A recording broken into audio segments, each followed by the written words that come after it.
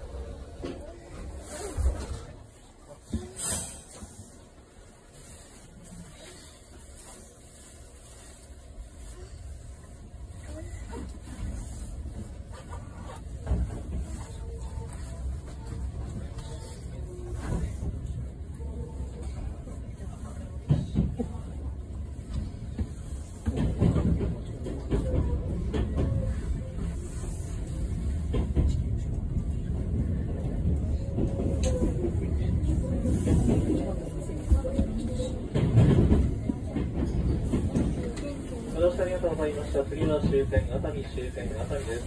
1番線の到着、お出口は右側です。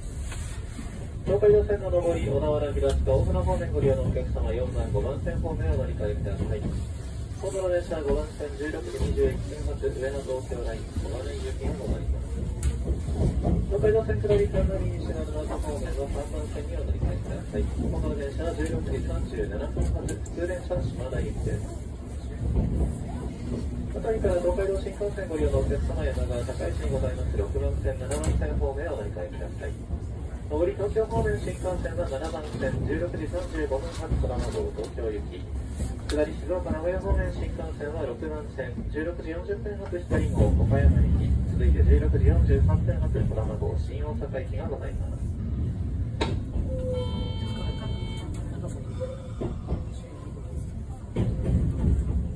日は伊東線をご利用くださいまして誠にありがとうございました。まもなく終点の熱海終点熱海に到着をいたします。1番線到着出口は右側です。車内にお忘れ物、落とし物なさいませんようお気をつけください。